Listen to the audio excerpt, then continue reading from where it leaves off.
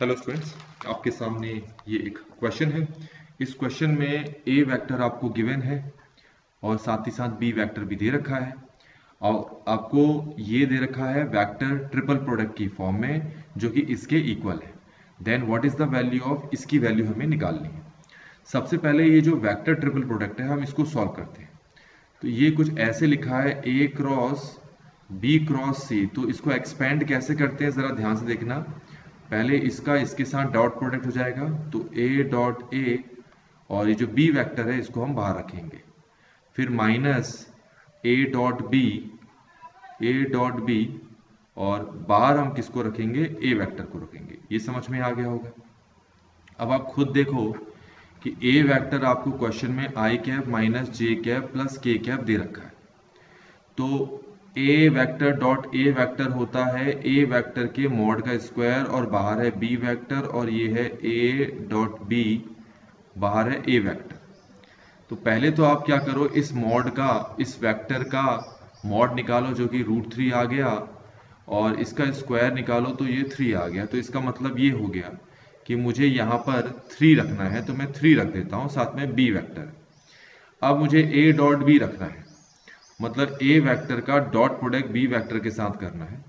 ए vector है I cap minus J cap plus K cap और B vector हमारे पास है I cap plus two J cap minus K cap इसको अगर हम सॉल्व करें, आप खुद भी सॉल्व करके देखोगे तो ये तो आ गया वन इससे आ गया माइनस टू इससे आ गया माइनस वन तो यहाँ से हमें माइनस टू मिल रहा है। तो ये क्लियर हो गया होगा। तो अगर मैं यहाँ पर माइनस टू रखूँ, इसकी जगह पर माइनस टू रखूँ ऑलरेडी माइनस है तो ये हो जाएगा प्लस टू ए वैक्टर यहाँ तक समझ में आ गया होगा आपको। अब हमें यहाँ पर क्या करना है? जो बी वेक्टर है, उसकी वैल्यू पुट कर देते हैं, जो कि ये है।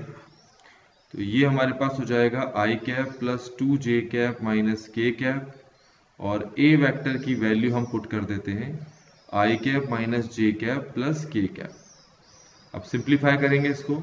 तो अंदर एक एक से मल्टीप्लाई होगा तो ये हो जाएगा three I cap six J cap minus three K cap अंदर मल्टीप्लाई करेंगे तो ये हो जाएगा two I cap minus two J cap plus two K cap तो three I cap plus two I cap हो गया five I cap six J cap minus two J cap ये हो गया plus four J cap minus three K cap plus two K cap हो जाएगा minus के cap ये समझ में आ गया। होगा तो फाइनली मुझे A cross B cross A जो है, इसका आंसर मिल गया। ये है five I cap plus four J cap minus K cap पर ये जो इस वेक्टर ट्रिपल प्रोडक्ट है क्वेश्चन के अकॉर्डिंग ये alpha I cap minus beta J cap plus gamma K cap के इक्वल है।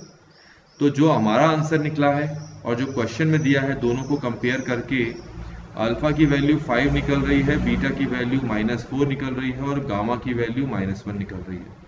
और हमें इन तीनों को ऐड करने के लिए कहा है तो अगर मैं इन तीनों को ऐड करूँ तो आप खुद देख सकते हो आंसर कितना आ गया हमारा, ज़ीरो आ गया।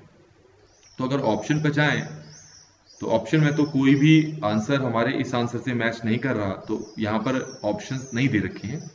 तो सही आंसर, करेक्ट आंसर क्या है यहाँ पर? ज़ीरो। तो इस तरीके से बच्चों, ये वाला क्वेश्चन हमने यहाँ पर कंप्लीटली सॉल्व कर लिया है।